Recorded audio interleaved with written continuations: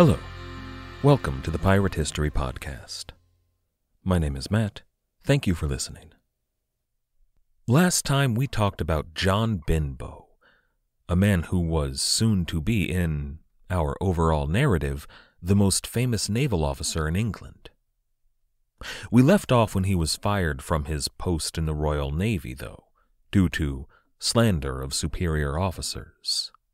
As a private citizen living in Tangier, Benbow bought himself a ship, one of those captured Barbary corsair vessels, and with it he started up a merchant shipping business. He traded primarily in the kinds of luxury goods that were enjoyed by Europeans living on the coast of Barbary. He brought in food and clothes and books, including books like The Buccaneers of America. But more than anything else, the one thing that all Europeans craved, which they could not find in the Muslim world, was alcohol. The age of sail, and the golden age of piracy in particular, are almost inseparable from alcohol. Rum, in particular, is an integral part of the pirate myth. There's even that song, the most famous song in all of pirate mythology,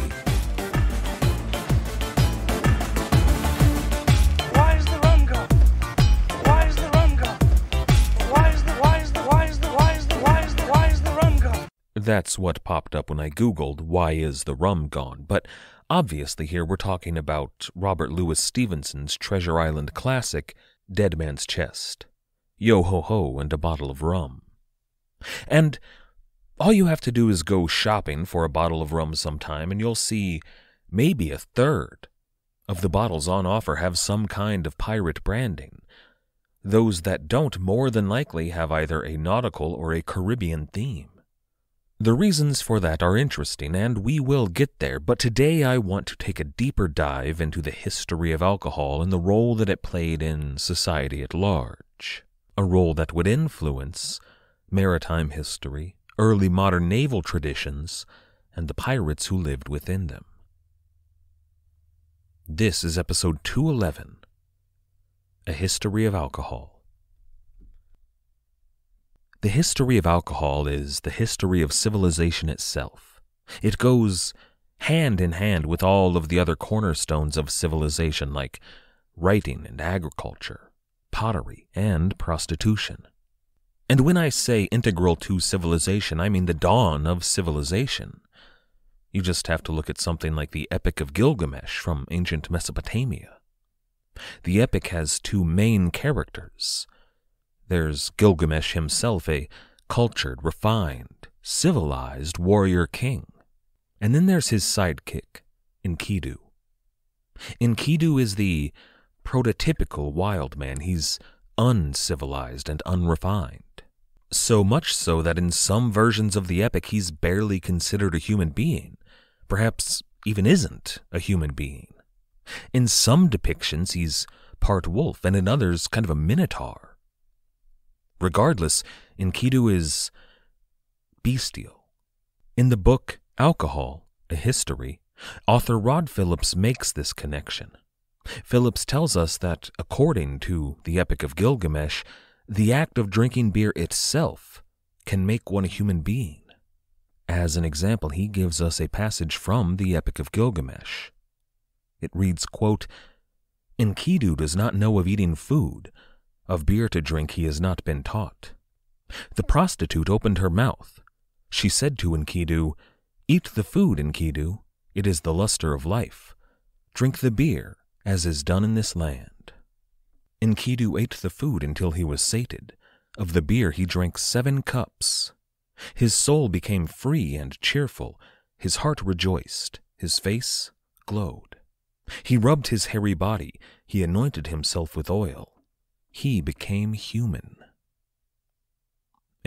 Now, I don't fully understand how even a werewolf minotaur type would not know of eating food, but we're not talking about food today, so let's brush that aside and talk about the beer.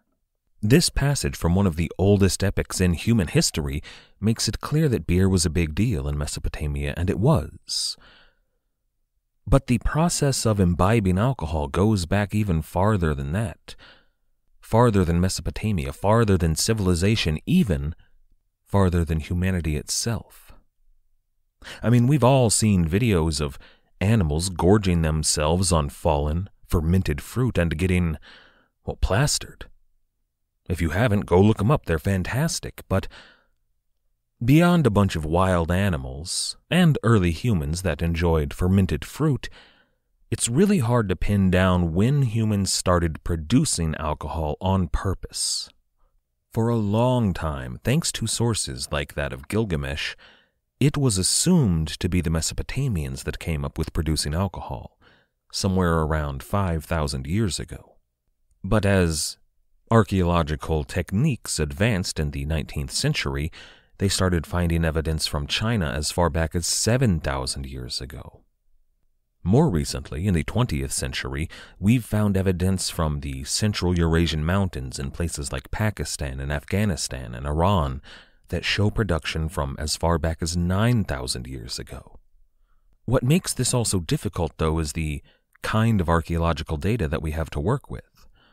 We're talking about fragments of pottery with trace amounts of acids that might suggest the presence of alcohol. Nothing even with some of the best scientific practices they can muster, that are absolutely definitive. Now, communities today who favor particular alcoholic drinks will argue extensively about which drink actually came first. For example, I personally am a mead nerd. I like to drink mead. I like to make mead and talk about mead and read about mead and spend time on mead enthusiast forums online. Trust me, you don't want to go on a date with me to the local meadery. I will, unprompted, talk about mouthfeel. And I will mean it. It's a problem. And I would love to tell you, given all of that, that it was in fact mead that came first. One of the books I have on the topic, The Complete Mead Maker by Ken Schramm, it gives excellent examples of why mead might have come first. Arguments that, for example, rainwater could have collected in beehives prior to the existence of pottery or tightly woven baskets, and therefore the honey in the beehive would have created mead naturally. But of course, on the other hands, cider aficionados and those who favor grape and berry wines have their own arguments, and they're all good. The only thing that we can all agree on is that anyone who argues that beer came first is a fool, an utter buffoon, a an ignoramus of the highest order. But in the end, looking at this topic objectively, we really have to rely on archaeological evidence here. And for a long time, that pointed to fruit wine. See, Fruit wine can only be produced once a year, at harvest. Once it's made, it needs to be stored in airtight containers or it will turn to vinegar. Thanks to that fact, there's a pretty strong argument that the production of wine drove the production of pottery in human civilization. We will talk about that next time, though, but that means that there's a fairly large amount of archaeological evidence pointing to wine as the first. Mostly those shards of pottery with trace acids and proteins that suggest fruit wine. The problem there is that beer could be produced year round from stores of dried grain, and people tended to drink beer quickly within a few days or maybe weeks of production. Beer was unlikely to go bad, it wasn't going to turn to vinegar, so you didn't need airtight ceramic containers. In fact, one could use open, watertight woven containers. But then, most recently, some new evidence has been revealed in the very early production of alcoholic beverages. Evidence that suggests, even proves, that it was beer that came first, and that the oldest confirmed brewing equipment in the world comes from Mesopotamia. They were making beer in modern day Israel as far back as 13,000 years ago. And the evidence for that is a relatively recent find. But it is based on evidence, rather than the former historical assumptions that beer was first created in Mesopotamia. They were right, but they were right for the wrong reasons. Now, we could talk about early alcohol production and distribution all around the world for well, you could do a whole podcast about it. And they have. There's actually a pretty fun podcast called Shots of History about the story of alcohol. It's worth checking out. For our purposes today, though, we're not going to go into any real depth on the distinct styles and traditions in places like China or Central Asia or Africa or Mesoamerica. They're all fun stories and worth a look if you're interested, but they're not really super relevant to the golden age of piracy. With that in mind, we're going to stick pretty close to the classical world. That is to say, ancient Greece and Rome, Persia, really all of the lands that Alexander the Great conquered, what they call today the Middle East, and all of the cultures that would eventually sprout from those civilizations. Mostly there we're talking about Europe and the Muslim world. And then, eventually, once Europeans begin their contact and conquest of the Americas, we will touch on Native American alcohol traditions, which do have some impact. Now, we could, and I almost did, do entire episodes on the Mesopotamian period and especially ancient Egypt.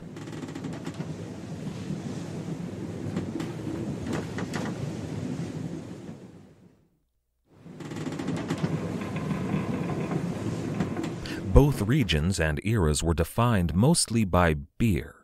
I think it's pretty common knowledge today that the ancient Egyptian pharaohs prescribed a steady diet of beer to their people. Most famously, they fed beer to the slaves who built their pyramids and other large architectural wonders. That was a low alcohol, high carbohydrate beer, though, you know, liquid bread, it's been called, with just enough of a kick to keep the slaves sleepy and docile come night time. But that grain slurry was not for the pharaohs. For themselves, they drank wine as did the kings in Sumeria and Persia and Babylon. It was a kingly drink.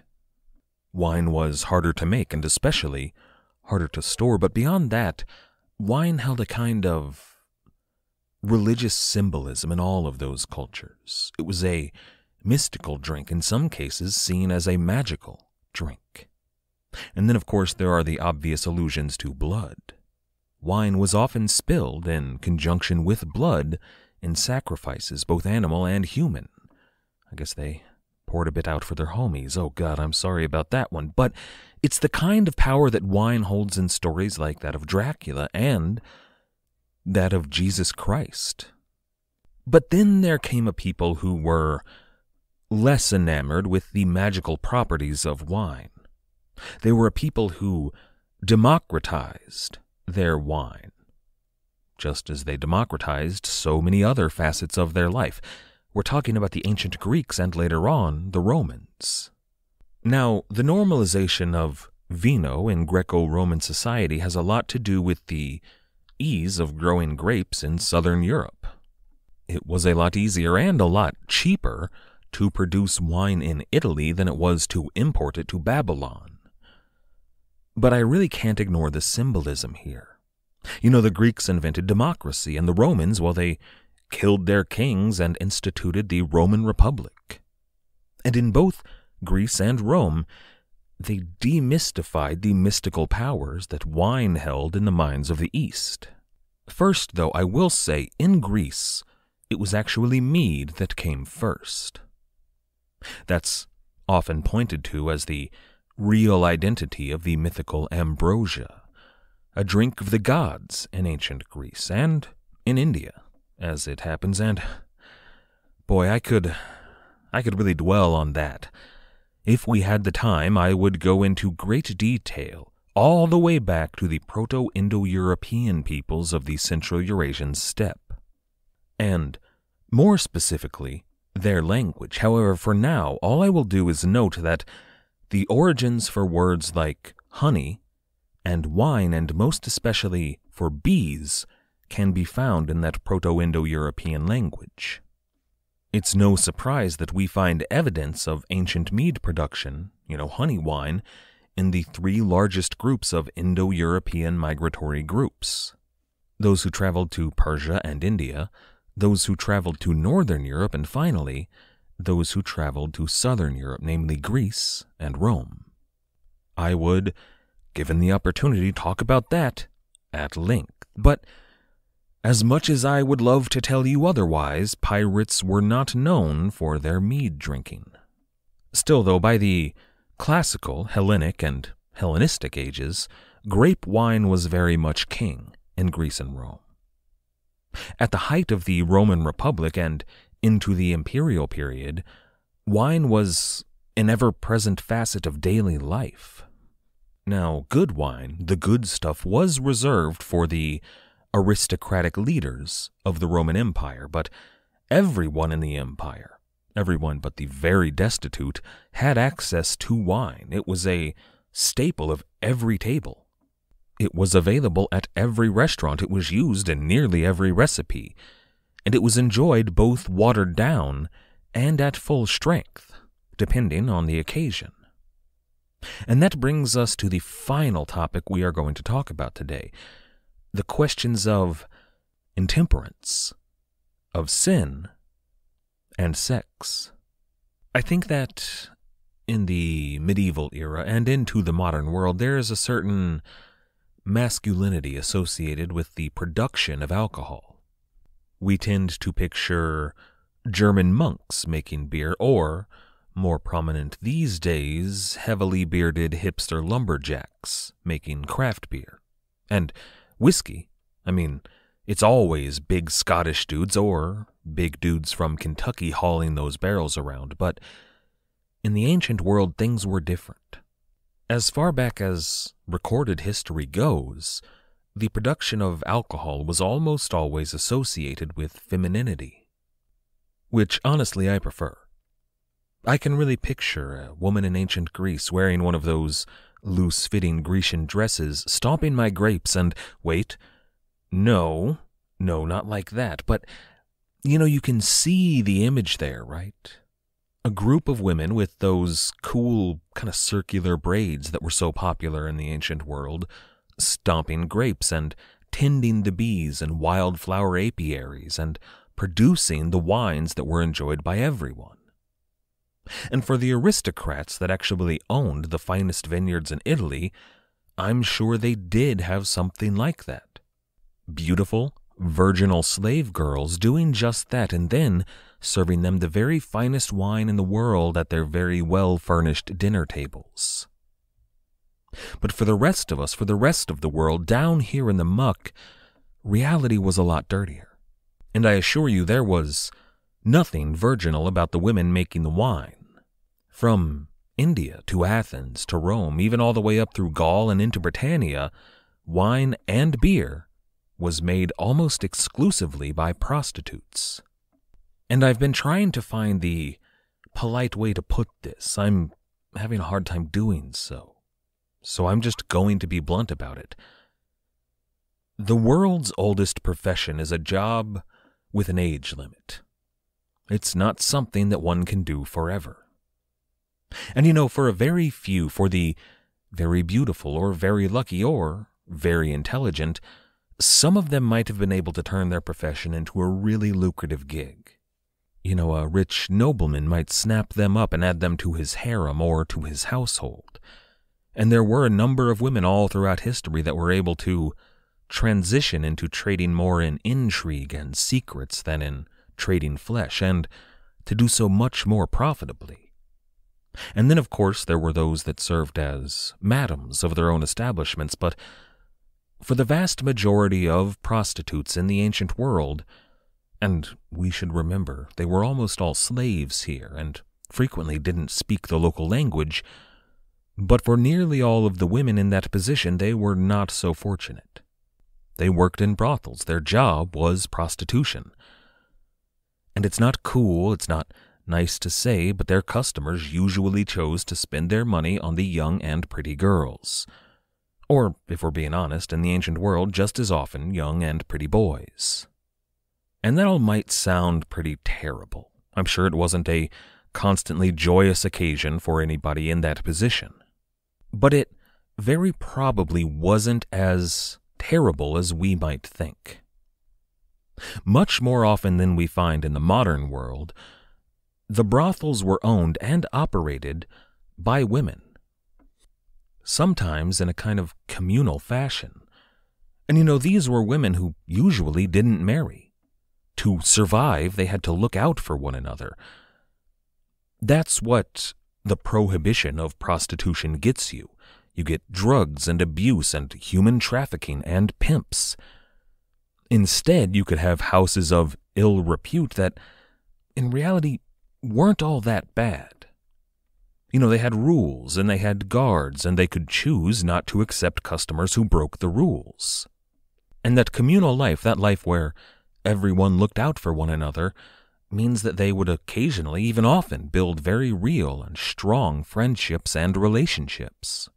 This is, sure, it's interesting, but I'm making a special point of it today because we see a very similar kind of culture emerge in the Caribbean round about 1700, especially in the ports of ill repute. But I remember a book I was reading a long time ago that had a main character that was a prostitute. She was getting a bit older, though, not elderly, but no longer as young and pretty as she once had been. And she was worried that she wouldn't be able to support herself for much longer. It was a terrible situation to be in. But for most of recorded history, that's not how things usually actually worked. In those brothels, especially in places like Rome, brothels that were often owned by women, you didn't just get kicked out and left to starve to death because you no longer had the charms that you once did. They had a culture of mutual support. But beyond that, there were a ton of other jobs in the brothels that needed doing. First, and this is worth note, there was the performative aspect of the brothels that you find so often in the ancient world. We're talking about music and song and poetry and theater. In ancient Rome, legally speaking, actors and prostitutes shared a class with one another. And then there were also jobs like, you know, the cooks and the servers. You could, in a brothel in the ancient world, expect a bit of dinner theater. But the most important aspect of the brothel probably financially speaking, even more important than the sex was the drink. As a patron, sure, you would enjoy a few goblets of wine, but it was so much more than that. Instead of hipster lumberjacks, it was usually women who worked for the brothels that made the wine. Not just for the brothel, but for wine enjoyed by nearly everybody in the empire. In a very real way, aside from dealing in flesh, these brothels were wine merchants. There are more than a few accounts of wine merchants in places like ancient Rome who went to the brothels to negotiate the buying of large quantities of wine produced at or nearby the brothel, wine that those merchants would go on to transport and sell in all corners of the empire. Now, I hesitate to use words like nefarious here. I'm actually pretty fond of the tactics used, but the brothel certainly had its advantages in that situation. I mean, imagine you've got a fat, soft wine merchant, and he walks into a house that is filled with a host of pretty young women who were very skilled at pleasing men. And I'm sure that those women were wearing their very finest dresses when they brought out the wine for sampling. And I'm certain that the madam or whoever was negotiating with the wine merchant would have implied that he would have been free to sample everything that the house had to offer, provided he cut a good deal with the brothel. And I'm looking at this from the perspective of a straight man, but oftentimes, while their husbands were away transporting wine to all corners of the empire, it was the wives that actually did the negotiation or maybe in an attempt to combat the nefarious tactics used by the brothel, maybe they would employ a gay man to negotiate their wine purchase, but not to worry. These brothels had plenty of wine, anything to please any palate. It was big business, and make no mistake, the women behind that business guarded it jealously, violently, more often than not. As we said, those brothels employed guards to make sure none of the customers grew too unruly, but If necessary, those same guards could be employed to break a few kneecaps. This was Italy, after all. The merchants, though, those who traded in far flung corners of the empire and even beyond, well, they often experienced a far less enjoyable time at the other end of their journey. You know, in Rome or wherever they were buying the wine, they might cut a good deal and enjoy a few extracurriculars, but once they arrived in Gaul or even in Germania, it was often still the women there that negotiated the buying of the wine. But in early Roman Gaul and for the entirety of the empire in Germania, instead of a night of pleasurable company, those German women were offering something far better. They were offering you a chance to keep your life. One does not mess with Germanic barbarian women. According to sources like Tacitus, they were even more free with the blade than their male counterparts. But back in Rome and in Babylon and everywhere else in the ancient world, these brothels, who protected their business jealously, well, they elicited a certain amount of resentment, as I'm sure you can imagine. For the profits they enjoyed, absolutely, but it's more than that. You know, these were independent women making their own money free of any familial connections. They were using their feminine wiles to live lives of communal peace and, in some cases, even a certain amount of luxury. And they were doing so free from the tyranny of some of the most patriarchal societies that history had ever seen to the men in power in those ancient civilizations, it was just, well, it was the worst. And you know, sure, those same men might patronize those establishments of an evening, but come morning they were in the forum denouncing them. They were dens of vice and debauchery and evil. In some cases, they would pass laws against drunkenness from these establishments. They would pass taxes to ensure that they could not make too much money but still they prospered. Later on, we would see these houses of ill repute as dens of nothing so much as sin. There is a reason that today we associate breweries more with German monks with those, you know, little bald patches shaved into their heads than with beautiful, alluring women with those cool circular braids but that's the production of alcohol. You know, we still associate the enjoyment of alcohol with women. Just watch a football game and you'll see ads with women in bikinis who just happen to be carrying their beer down by their butts when you get a nice close up shot.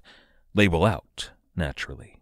But that's the drunken, intemperate, and sexualized side of alcohol. You know, those sins might not be as anathema as they used to be in modern society, but they're still pushing the sin. It's no accident that, as the Roman Empire saw the rise of the Christian Church and their much more strict moral codes, that the image of those who produced the alcohol shifted, that the reality of those who were allowed to produce the alcohol shifted. The ancient traditions, the thousands of year old human traditions of making and enjoying alcohol, were going to change significantly. That story, though, is going to have to wait until next time. Today, I really did want to cover the entire story of alcohol from Babylon to Nassau, but it proved impossible. And I was rushing here. I didn't even talk about the Bell Beaker people or the corded ware people. But we will next time. We're going to talk about the alcoholic traditions in Europe and how that impacted and even forged the age of sail and the Age of Pirates.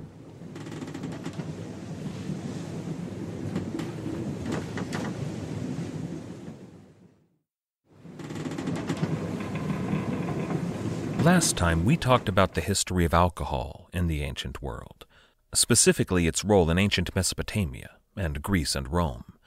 And we talked about the role of women and brothels in the production and distribution of wine. Today we're going to discuss well, this is something of a danger zone for me. See, what we're going to discuss today is one of my favorite historical topics, or Rather, it combines a bunch of my favorite topics the spread of ancient nomadic peoples, their uses of things like language and of writing, their pottery styles, their cultural and even religious norms, and naturally their use of alcohol. It would be very easy for me to go off on any of those, deep into the weeds, but we do have a particular point we're trying to get to today, a point that matches our current point in our overall story. So while we are talking about the European alcohol tradition, we're going to be moving fast. Because it's not only that, we're also going to incorporate the Islamic tradition and the Southeast Asian tradition to finally come to light on a bottle of rum. This is episode 112 The Water of Life. We begin today in the mists of prehistory. At least it's prehistory for the people with which we are concerned today. Down in Mesopotamia, they were writing down laws and account ledgers and epic poems. They were deep into their recorded history. But the people we're talking about today are what linguists call the Proto Indo European peoples. It's a name that indicates the spread of their language and their language family from India to Europe. Now, in the early days of the study of linguistics, they called these people Aryans. It's a practice that, for obvious reasons, they stopped in the early 1930s. There is, though, a bit of a swing back on that pendulum in the last few years. Some scholars have reclaimed the term, using phrases like the Indo Aryan peoples. But still, early linguistic theory could easily be misconstrued to equate culture and language with things like race and blood and it has been, to disastrous effect. See, these people lived, as far back as we can tell at least, in the Eurasian steppe just to the north of the Black Sea. They were pastoral nomads, by which we mean they did not have a home base, they had limited agriculture, but they herded livestock. They herded donkeys and camels and goats, and most importantly, cows and horses. And over the centuries, these Proto Indo Europeans began to mutate. They developed the stomach enzymes necessary to digest dairy. Or more accurately, they developed a genetic component that allowed them to keep their dairy digesting enzymes. You know, that's something that we all have as babies. It's how we digest mother's milk. But the Proto Indo Europeans kept that enzyme into adulthood. It allowed them to digest things like cow and horse milk, and most importantly, cheese. Now, it's important to remember that when you're discussing the movement of peoples in this era, you're talking mostly about culture, you know, language and religion and writing and pottery. It's not really about race. But there is a genetic component to it. Mainly, for our purposes, it's that dairy digesting thing. Now, some anthropologists today think that this may be given more importance than it deserves, but the conventional wisdom tells us that this was among the most important developments in every region that these Indo European peoples would touch. Now, digesting dairy may seem like a small thing, but it means that those peoples were able to take their food sources with them. They weren't tied down to the land. They didn't have a significant portion of their manpower tied up in agriculture. This gave them an amazing military advantage. Beyond that, they rode their food sources into battle. You know, the horse and, later on, the bridle were unbelievably important advancements in military technology. And oh God, the chariot! I mean, from India to Persia to Troy and Greece and Rome, all of the ancient world chariots are one of the seminal pieces of military technology. And the thing that ties all of this together, the theme that we find in the story of the Indo Europeans, is mobility. Horses and chariots are methods of travel. So, these Indo European peoples, they traveled. And they did so mainly in three very large migrations. The first of these migrated east and south around the Black Sea. These are the peoples that would eventually become the Persians and the Vedic peoples of modern India. Then there's a group that traveled west and south around the Black Sea. And we find some of the oldest evidence of those migrations in the Balkans on the Black Sea coast. We find pottery and scraps of writing and traces of alcohol on the pottery. But those are the peoples that would eventually found city states in places like Troy and ancient Greece and Rome. Now keep in mind that these were not single, one time giant migrations of peoples, you know, not 200,000 people on the move. These things happened over centuries or even millennia. You would have these slow, gradual build-ups of what the local peoples might consider barbarian nomads on their borders. But eventually, it would lead to war and conquest and the establishment of some of the great empires of the ancient world, much of it on the backs of chariots. Or, just as often, even more often, in huge formations of horse archers, very similar to those of the Huns and Mongols. Now, just to touch on these two groups who we aren't really concerned with today, I would like to note that in both those that would populate Persia and India and those that would populate Greece and Rome, we find phrases like the water of life, or sometimes water of the gods. It's pretty clear that this phrase in the ancient Proto Indo European language was what they called alcohol. And we get a bunch of our words for foodstuffs from this Proto Indo European language. The apple, for example, or rather, the apple was actually a word for any kind of fruit.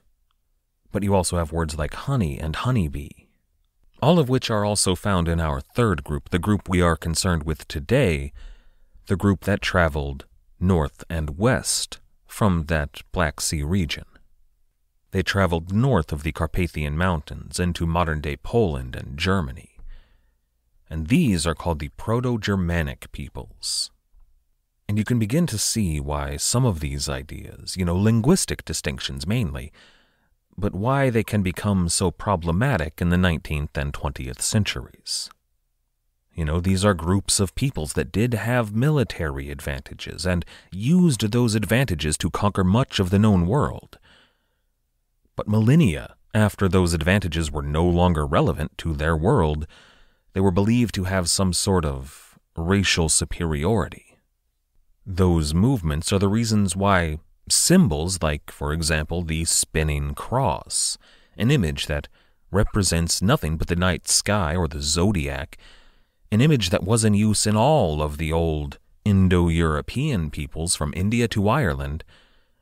Well, you can see how that symbol might be misappropriated and stained with blackness when the Nazis adopted it as the swastika. There's a ton of this stuff, and this is the stuff that I could go on and on about for a long time, but isn't really relevant. As for our topic today, the alcoholic consumption of the people of early Europe, there isn't a whole lot of information prior to the arrival of the Romans. You know, we have some of that archaeological data we find in other regions, you know, traces of amino acids on fragments of pottery, but it's the Romans that give us the first written historical record of alcohol in Northern Europe. Now, most of that is in relation to the Celts and the Germans consuming Roman wine.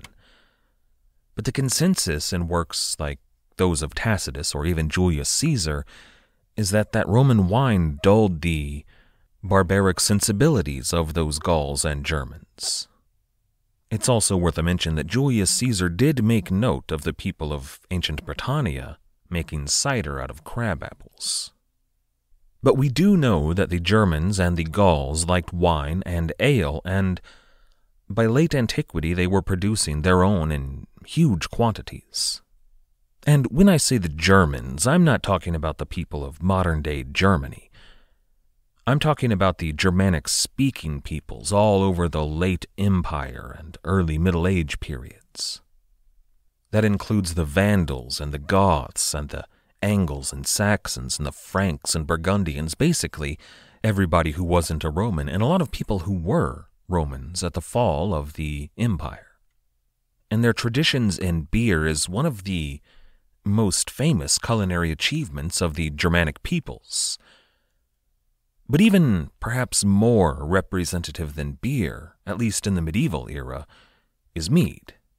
And we talked about the widespread consumption of mead last time, but I think it's most famous in these Germanic peoples. You know, you've got Odin making a sacrifice of his own body to bring poetry and mead to the people in the Vedas. You've got the mead hall in the real world, which was important, but also in fictional epics like Beowulf. In those stories, as in the real world, it was the king's responsibility to provide his housecarls, his fighting men, with mead. And even the name, Beowulf, translates directly to bee hunter, so probably a bear. But it's associated with bees and therefore honey and therefore mead. Now, the consumption of mead is actually an interesting metric for the spread of the Indo European peoples. You know, you can follow their migrations better through archaeological evidence of mead than through their language. Because everybody was drinking mead, and mead was transported in pottery, which tends to last. Runic inscriptions, which were often made on wood, didn't. Naturally, this is an imperfect tool. I mean, trade does happen. There was Indo European mead transported into regions where there weren't any Indo Europeans, but once a certain critical mass of pottery and evidence of mead is found in the archaeological record, we can assume that the Germanic peoples had become at least the dominant group in a region. But it's at this point, about the time that Beowulf was written, that we need to shift our focus to the East. As early as the 800s, Muslim chemists were distilling spirits from wine. This was when the Muslim world was enjoying its first flourishing of the Golden Age, when scientific and mathematic advances were flowing out of the Islamic world. Much of it was based on the writings of the Greek world that they came to inhabit. See the medieval Muslims were less prone to destroying knowledge than the Catholic Church of the same era, so they were able to learn from it and build upon it. And they called this alchemical formula alcohol or alcohol in the Arabic.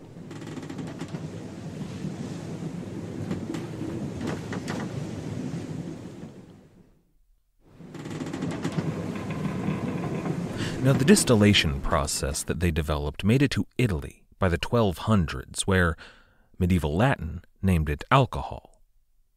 But that name, I mean, it's just a little bit heathen, isn't it?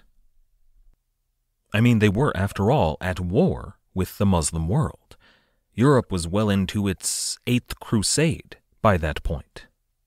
And the kings of Europe didn't much care for these Moorish words like alcohol so instead, they used one of their ancient words. They named this distilled ethanol aqua vitae, the water of life. Now, we noted that this is an ancient phrase in the Indo European language, but by this point it was mainly in use as a reference to holy water in the church. However, within about a century of distilled alcohol's introduction to Europe, it became synonymous with spirits. You know, you might have beer and ale and wine and mead and aquavitae. The production of these spirits is synonymous with and absolutely condoned by the Catholic Church in this era. I mean, in moderation, absolutely. Excessive drunkenness was considered a sin, but in monasteries all over Europe, the water of life was being distilled. In fact, the names for modern alcohols, from different regions all reflect this practice, this naming convention. There's an Italian acquavite. There's a French brandy called the eau de vie, a direct translation of water of life. The word from vodka probably derives directly from a Slavic translation, maybe in Poland, and most famously, and I'm not going to try to pronounce it in the Irish here, is whiskey, which means literally water of life. Whiskey was being distilled as early as 1400 in Ireland, but oddly, the production of aquavitae had yet to really catch on in England. The Scottish were developing their own distinct varieties of whiskey, but not the English. Now, this is probably due to the Norman domination of England at the time. I would note that in other Germanic and Anglo Saxon parts of Europe, there is evidence of the distillation of mead. It doesn't seem to have a name of its own, at least not that I can find, but it did exist, and today you can find fortified honey wine, which I highly recommend. But in Norman England, they preferred to drink a good French drink, namely French brandy, or sometimes eau de vie. And it, you know, was difficult to grow grapes in medieval England, so they didn't produce their own, but more than that, so many of those high ranking Norman nobles had lands in France that were growing the grapes that were producing the French brandy that was imported to England. So, why would they dilute their profits by allowing production of aquavitae in England? But this might seem strange because soon England is going to be maybe the largest producer of alcoholic drinks in the entire world, or at least the English world will be. But to get there, to get to that point, where England is producing more aquavitae than anywhere else, we need to go back to the east, even further to the east. In 7th century India, there are records of fruit wine and honey wine, and then there's a drink they called brum or broom. It was a wine, but probably distilled later on. However, exactly what was in brum is shrouded in some mystery. However, Marco Polo does seem to shed a little light on that mystery. His journals make reference to a fine sugar wine, a wine made out of cane sugar. And once Europeans began to show up in Southeast Asia in large numbers, we see a ton of examples of sugar cane wine all over Asia. From the Malay people in Indonesia, in the Philippines, anywhere, really, that sugar cane could grow. And this sugarcane wine was something of a delicacy. Everyone seems to have enjoyed it, but it was the sugar itself more than the wine produced that really drove the Europeans wild. I mean, it was the search for territory that could grow sugarcane that drove the early age of exploration. Christopher Columbus himself brought the seeds for sugarcane with him to America on his second voyage. And before you knew it, as soon as Europeans began colonizing the New World, it was it was being grown everywhere. What they began to call king sugar was the single most important product of the Western Hemisphere. It eclipsed tobacco and cotton and hemp. It was the most important agricultural product. It, in itself, just sugar, rivaled all of the spices of the East Indies in economic impact. And you can see visualize the way that it changed the world just by looking at some old paintings. I mean, look at images from Elizabethan England. You've got these trim, slim men like Francis Drake in nearly every image, but just a few decades later, nearly all of the men, with a few soldiers notwithstanding, but nearly every man in those paintings is a bit rotund,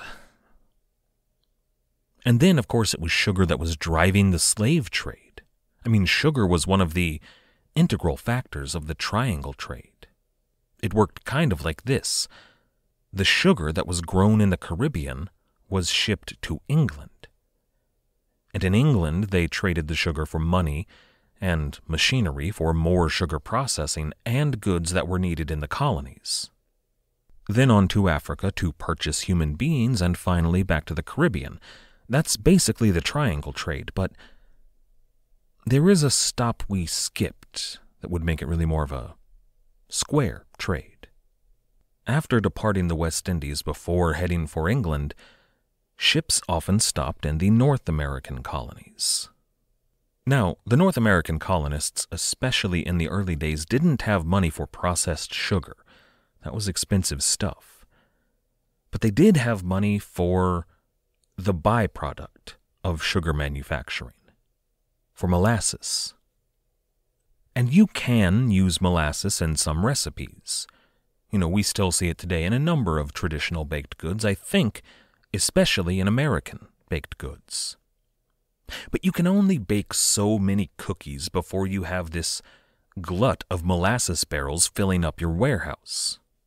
So the Americans, and we're talking really early colonial days here, you know, bunkhouses and palisade forts with maybe one or two cannons from the ship they sailed over on. And in that kind of frontier situation, purified ethanol is very useful. It cleans wounds, it cleans mouths, and most of all, probably, it cleans water.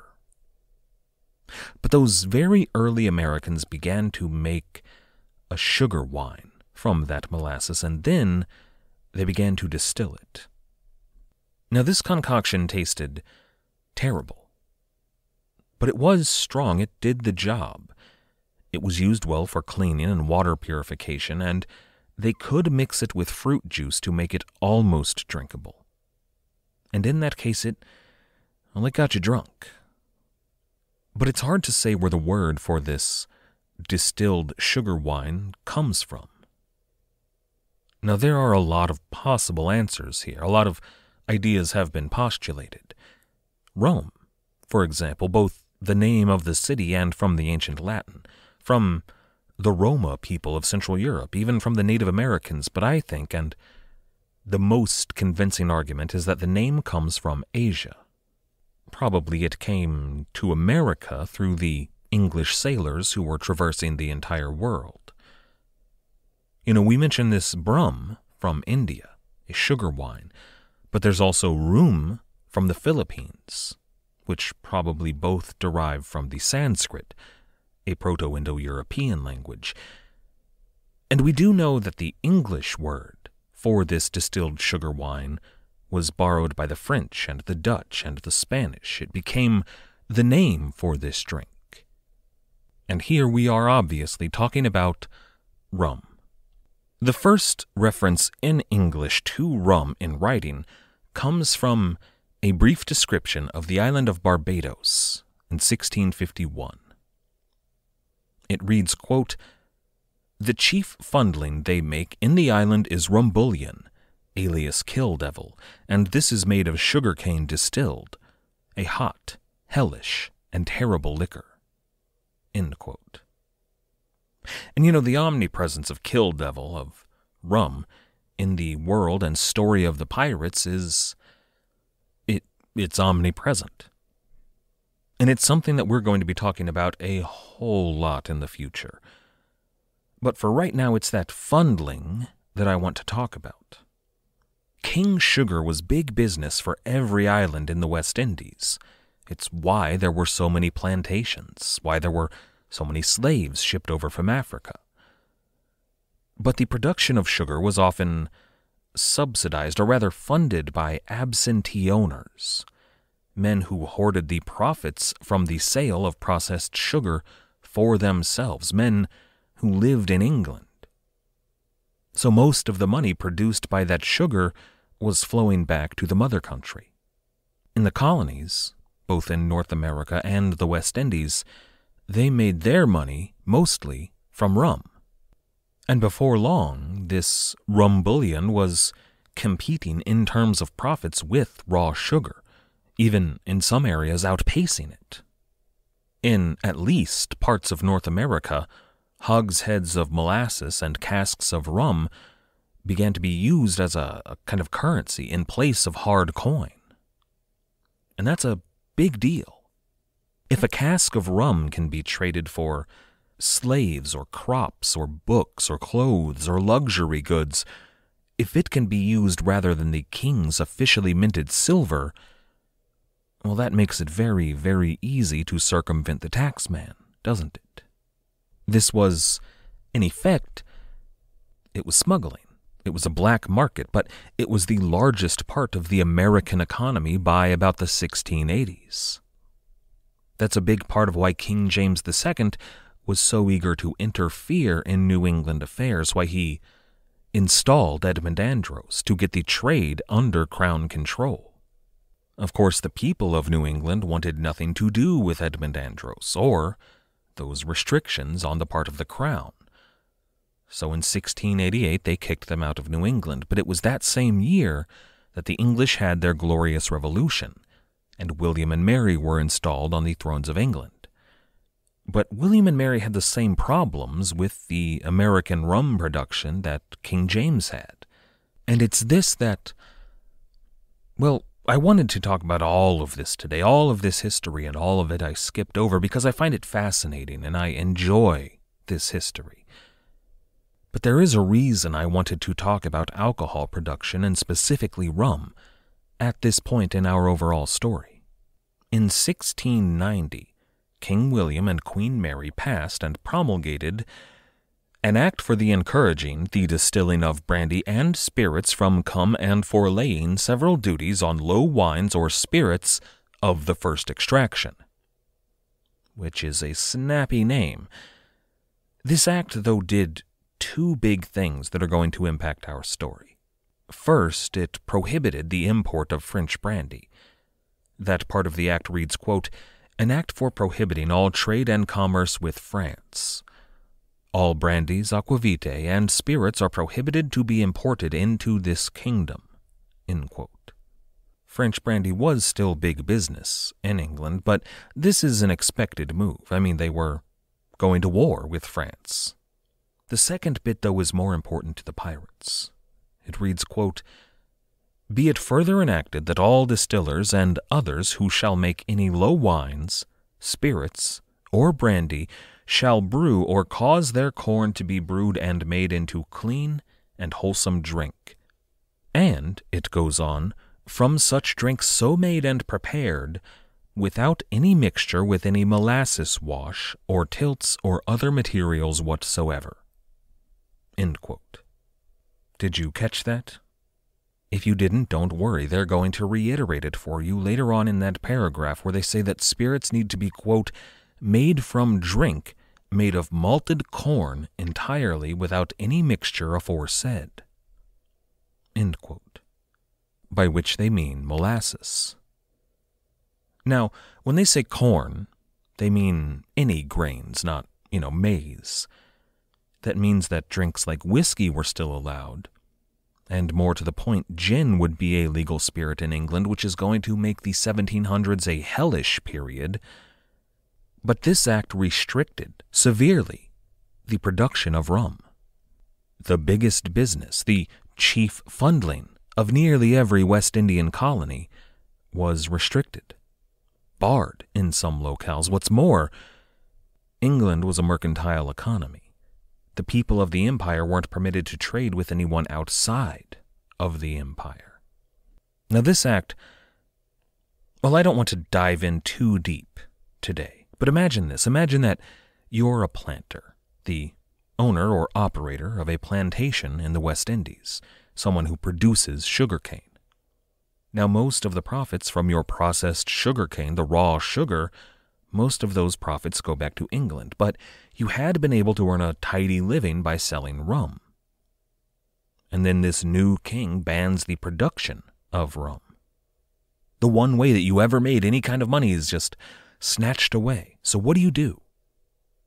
And I'm not saying that this did happen, but wouldn't it be handy if in that situation you happened to have access to a crew of rough and tumble criminals, you know, sea robbers, real Robin Hood types, who might occasionally steal a shipment of rum from, say, a French vessel in the Windward Passage, maybe.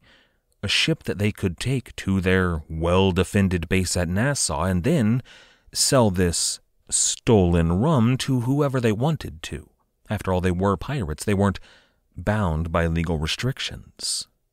This would be a, if it happened that way, a neat and tidy way to avoid the prohibition of rum production, wouldn't it? Which catches us up to our overall point in our story. Now, as far as the pirates of the Round are concerned, aside from the drink that they were enjoying there on Madagascar, rum and alcohol in general doesn't play a major factor because they were stealing from the Muslim world, and by that point, alcohol was forbidden. But when we shift our focus away from the pirates of the Round back to the Western Hemisphere, after this prohibition by William and Mary, the theft and black market sale of rum is going to be the biggest business of every pirate in the Caribbean. I'd like to thank everybody for listening. I'd like to thank everybody that has helped to support the show. Everybody who has signed up to become a patron on Patreon, everybody who has left us ratings or reviews, and everybody who has recommended this show. You all make it possible. Thank you. Our theme music was, as always, The Old Captain by the fantastic band Brillig. If you haven't checked them out yet, you absolutely should do so. You can find them at brillig.com.au. That's B R I L L I G.com.au. After you're done over there, you can visit us at piratehistorypodcast.com, about which keep your eyes and ears open. We have news in the works. But as always, and most importantly, thank you for listening.